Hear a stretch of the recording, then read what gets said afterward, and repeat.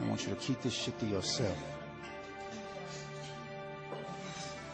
At 6.15 a.m., the truck pulls out of the post office on Lancashire and Wilshire.